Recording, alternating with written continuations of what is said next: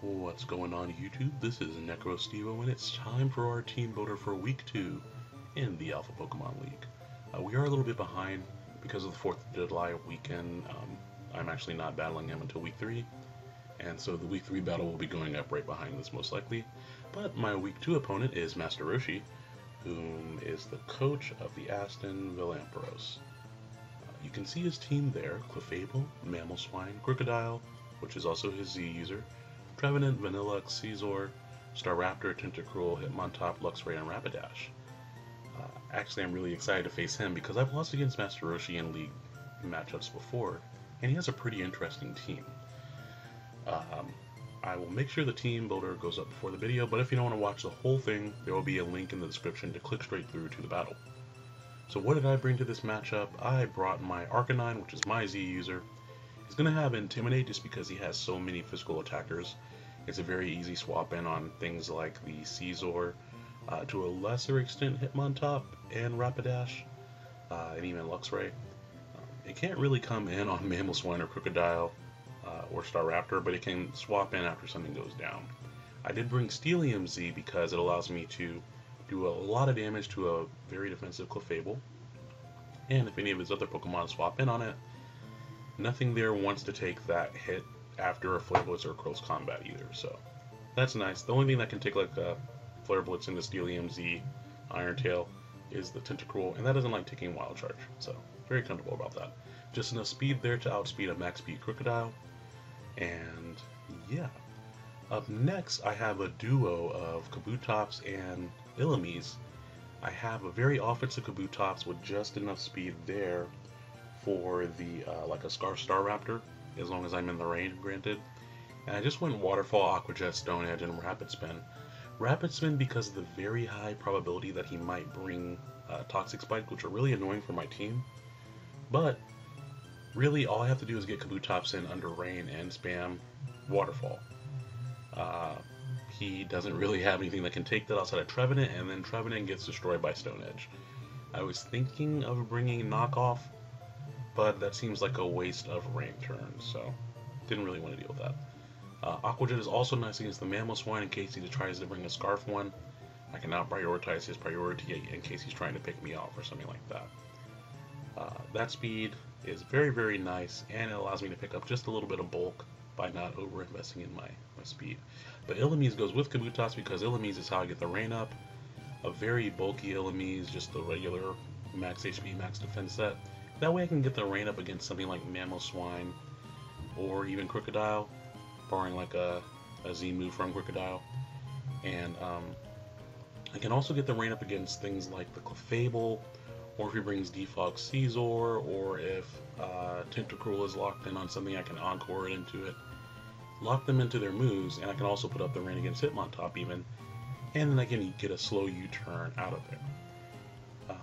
Thunder Wave is just in case something like Trevenant gets out of hand, um, or if he has uh, a setup Scizor or something like that, then I can at least Thunder Wave them and make them a little bit more manageable for my other Pokemon.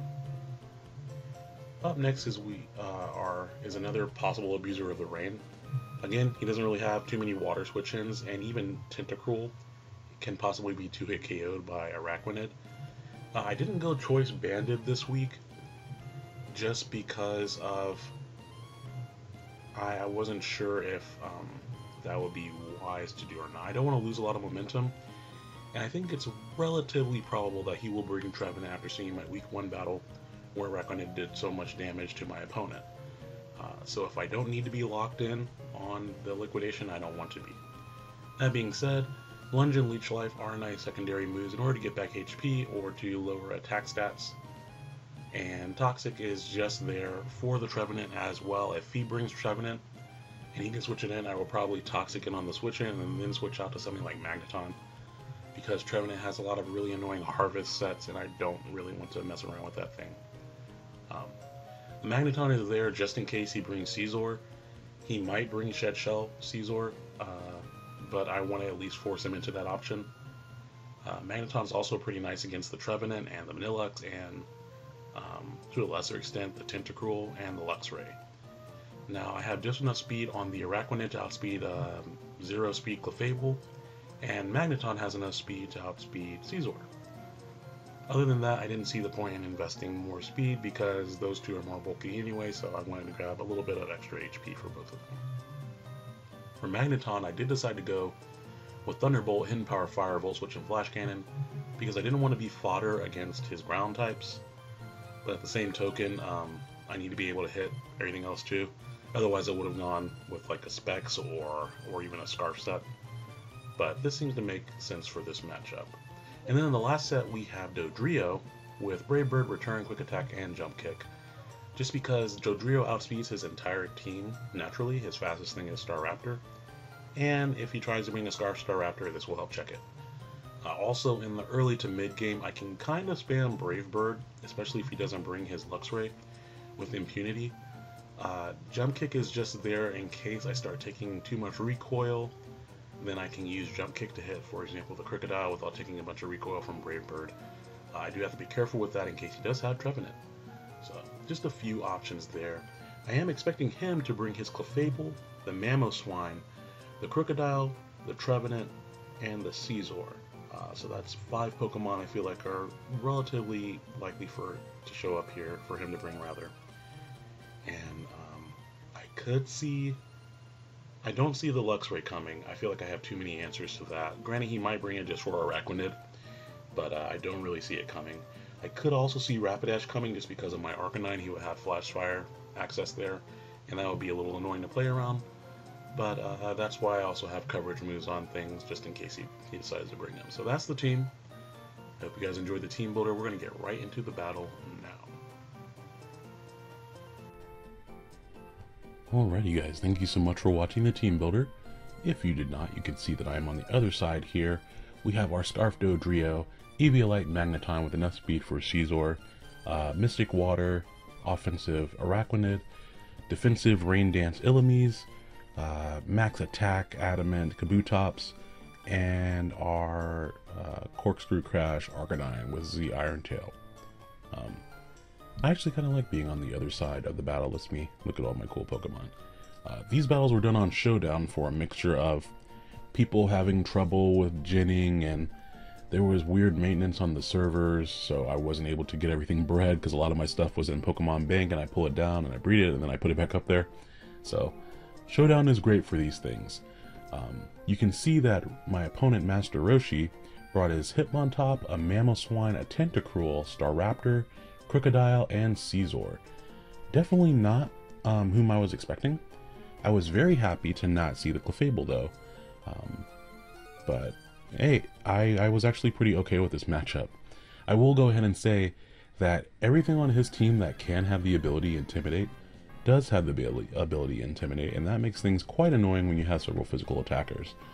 Uh, the game plan for me though was I at some point I need to get in Illumise against something that has a favorable matchup, preferably the Krookodile, and set up the Prankster Rain Dance because uh, Kabutops and Araquanid kind of smash this team on the offensive side.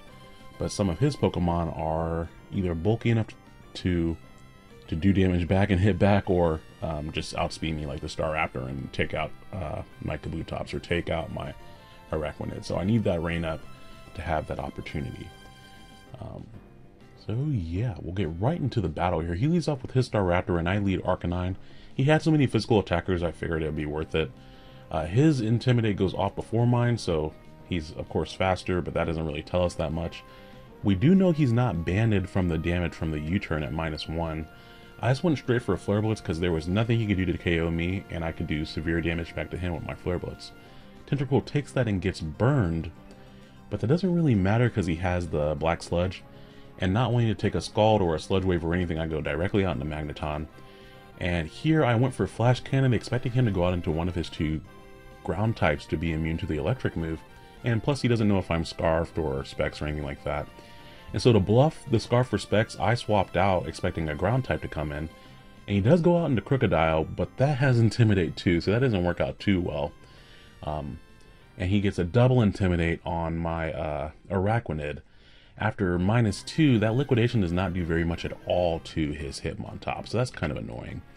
Um, I could have stayed in there and gone for liquidation anyway, but I was worried Hitmontop might have a coverage move like Stone Edge, and I didn't want to get toxic.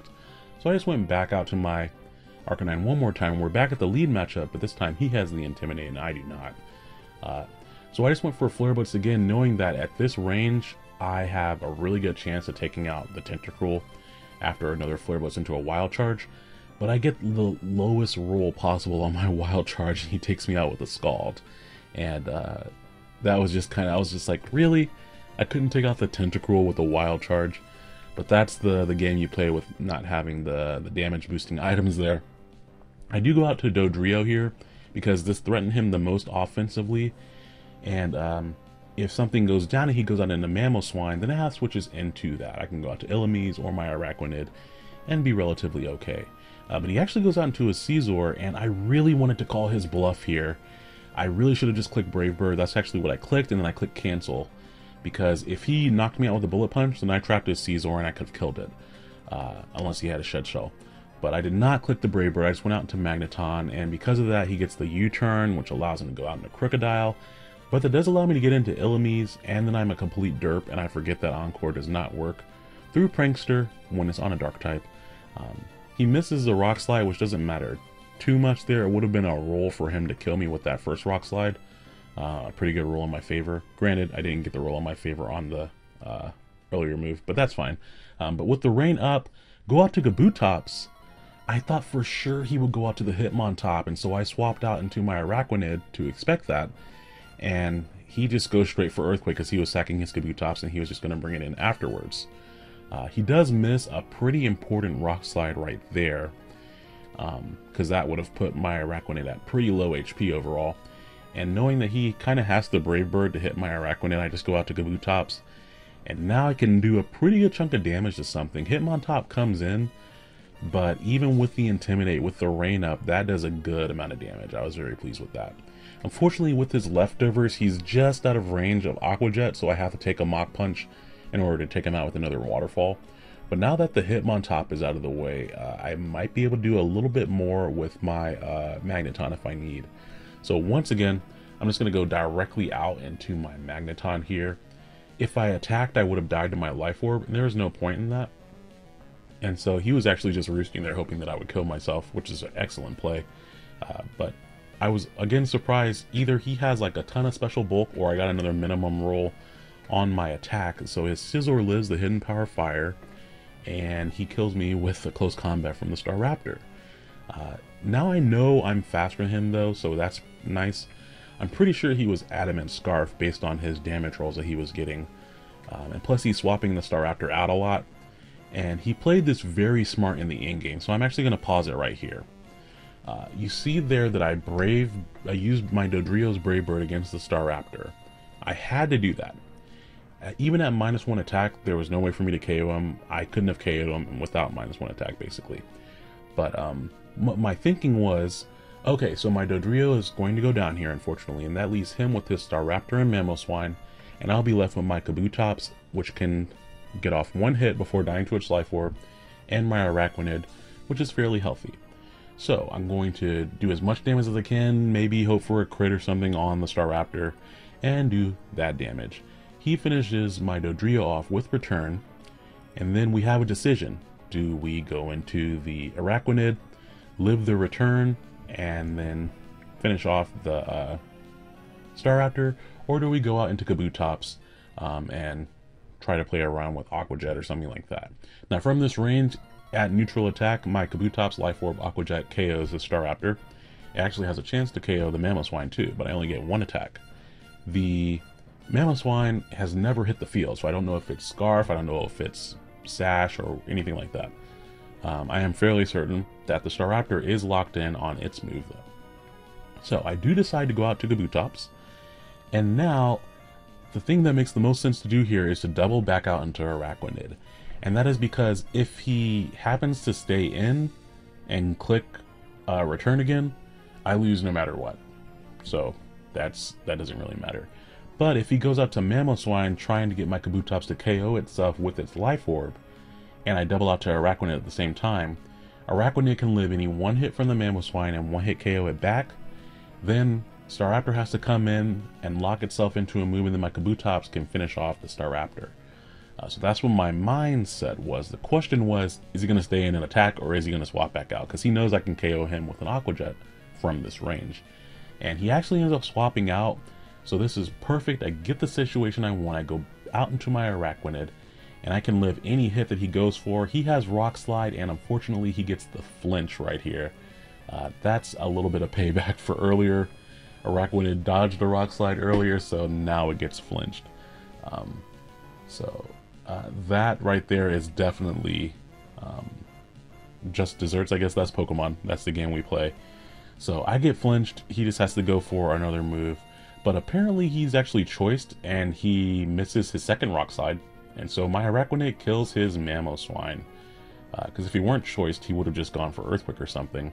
Uh, Staraptor comes back in and he just goes for a return here to take out my Araquanid. But the situation that I spoke of, Kabutops can definitely KO Staraptor from this range, and I get to finish it off with an Aqua Jet with a delicious double down at the very end, but since my Pokemon was KO'd by its own life orb, that means that it's my victory. Uh, so, that was a weird battle. Um, I definitely got the best in of the hacks there, even, even with the flinch at the end.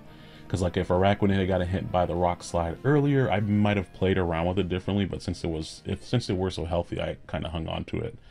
But yeah, thank you very much, Roshi, for the battle. We always have really good battles. This is probably the hackiest match we've had, though. Uh, so hopefully we'll get a chance to rematch him in the finals or something. But that means yet another victory for the Eterna City Enders. Um, and I hope you guys enjoyed watching the game. Let me know if you guys thought um, that I played that end game correctly there. My big, I think my biggest misplay was wasting a turn with Illumise, and um, also going out to Araquanid with when I had Kabutops in. I could have just KO'd the Krookodile. I think those are two kind of unnecessary risks that I took there. But I'd be interested to get some feedback from you all about those if you have time. So thank you so much for watching, and I will talk to you all in the future. See you later.